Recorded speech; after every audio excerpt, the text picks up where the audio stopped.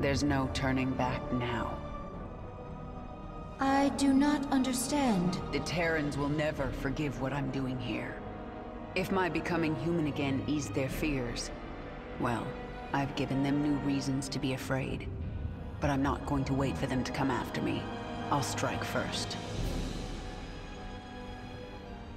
Our Leviathan is able to travel to another world at your command.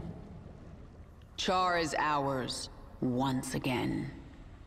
Our enemies should fear us. We still have a long way to go. We are numberless, we are relentless, and we are evolving. We are also done on Char. I will decide on our next destination soon.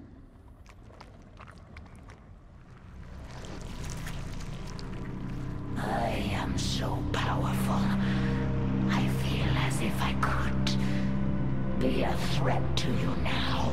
Listen well, Zagara. Someday you might rule the Swarm. If you think you can take it now, make your move. But the next time we fight, it is to the death. All or nothing. I will serve you and learn from you. And perhaps someday, I will lead the swarm. But not today. And what lesson did I teach you? Vision, my queen. You taught me vision. The Swarm is powerful, but power is not enough for its leader. I defeated Warfield not through numbers or strength. I simply possessed vision, and he did not. I will remember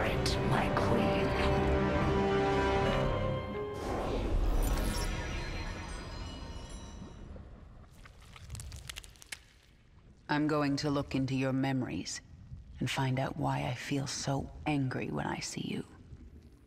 Memories not important. Distractions. I see it in your mind. You designed the Queen of Blades. Your limbs wrapped me in the chrysalis. Weak and soft. Broke bones. Tore flesh. Improved you. If you weren't important to my plans, you'd be dead right now. Unclear.